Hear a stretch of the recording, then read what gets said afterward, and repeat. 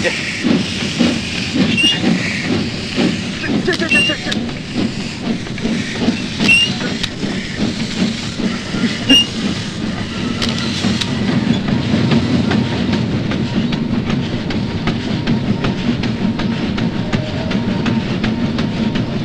foto Mai, gaya di situ Mai.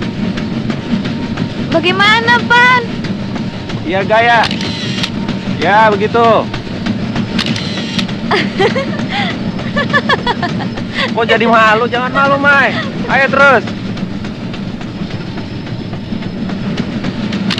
Ya gitu bagus. Ya.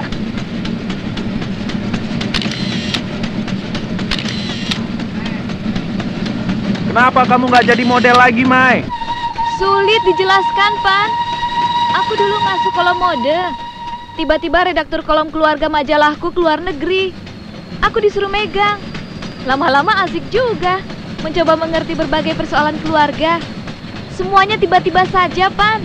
Ah, mana ada di negeri ini yang tidak tiba-tiba, Mai. Ingat si Mama, teman kita itu. Pengusaha jadi penyair. Si Jendul, yang pelatih sepak bola, tiba-tiba jadi raja kapal. Dan si Mimin, dari pengusaha real estate, jadi budayawan dia sekarang. Iya ya, Pan. Dulu kita mau jadi pemain sandiwara. Sekarang coba lihat. Jadi apa kita?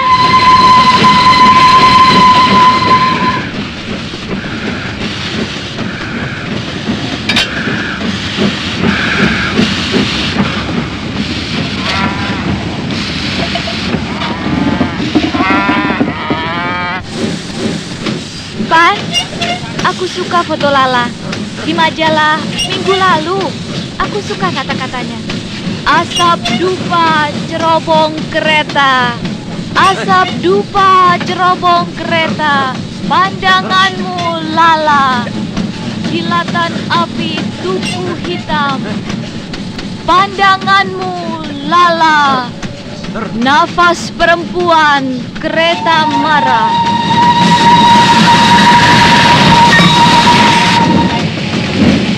Bagaimana bisa terjadi kata-kata seperti itu, Pan? Mai, dulu kamu lebih pintar dari aku. Coba sekarang buatkan untukku, Mai. Mau ke mana kamu? Mai, kita main sandiwara-sandiwaraan seperti dulu. Teriakan kata-katamu pada satria yang ingin membawamu lari. Gila kamu, aku tidak punya bayangan apa-apa. Aku tidak seperti dulu lagi, Pak. Turun kamu ke sini, bidadariku. Turun ke sini. Jangan tidur di atas awan tanpa rasa. Turun ke sini. Akan kubuatkan ranjang seluas ladang. Lihat baju putihku, lelaki. Lihat. Jangan teriakan kata-kata berkeringat.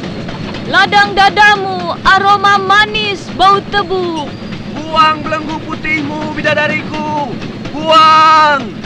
Baju putihmu, selimut keringat tubuh lelahku. Buang.